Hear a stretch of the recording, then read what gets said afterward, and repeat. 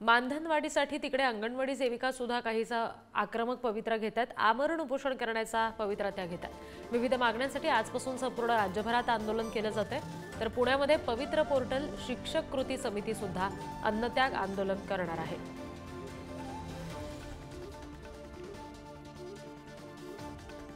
या सगळ्या संदर्भात आपण आणखी तपशील घेणार आहोत. प्रतिनिधी शिल्पा नरवडे यांच्याकडून. शिल्पा पवित्र पोर्टल संदर्भात शिक्षकांची नेमकी काय मागणी आहे? ज्याच्यासाठी ते अन्नत्याग आंदोलन करण्याची भूमिका ते घेत आहेत. हो, अंगणवाडी सेविकांचे आजपासून बेमुदत उपोषण आहे.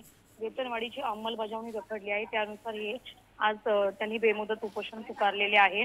आझाद मैदानावर सकाळी सात वा दहा वाजता या उपोषणाला सुरुवात होणार आहे. सात घटक संघटनांचे पंचवीस नेते बेमुदत उपोषणात सहभागी होणार आहेत.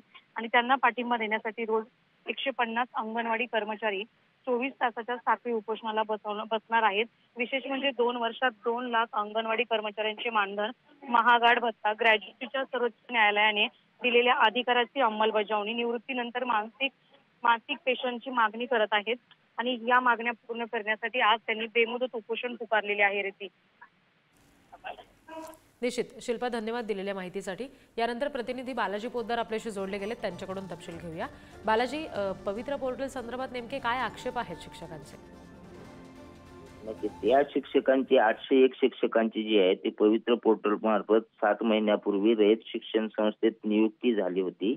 मात्र रयत शिक्षण संस्था आणि त्यांच्या खासगी जे कंत्राटी शिक्षक आहेत त्यांच्यातला काही न्यायालयीन वाद आहेत तो हायकोर्टात आहे. त्यामुळे त्या निकालाचा निर्णय झाल्याशिवाय यांना नियुक्ती देता येणार नाही असा निर्णय संस्थेने घेतला. त्या विरोधात हे शिक्षक आंदोलन करत होते.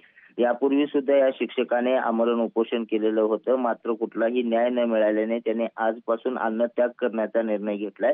या अन्नत्याग आंदोलनामध्ये ते स्वतःचे आई वडील कुटुंबीय यांना घेऊन बसणार असण्याचा इशारा शिक्षकाने दिलाय. त्यामुळे आता सरकार या शिक्षकांच्या प्रश्नाकडे कसं पाहते किंवा काही निर्णय होतो का? काही तोडगा निघतो का? हे पाहावं लागेल. मात्र आठशे एक शिक्षक आपल्या आंदोलनावर आज ठाम आहेत. रिद्धी. जी जी निश्चित. आणि पुण्यात नेमकं काय घडतं या आंदोलनादरम्यान याचे पुढचे अपडेट्स तुमच्याकडून घेऊ. बालाजी धन्यवाद दिलेल्या माहितीसाठी.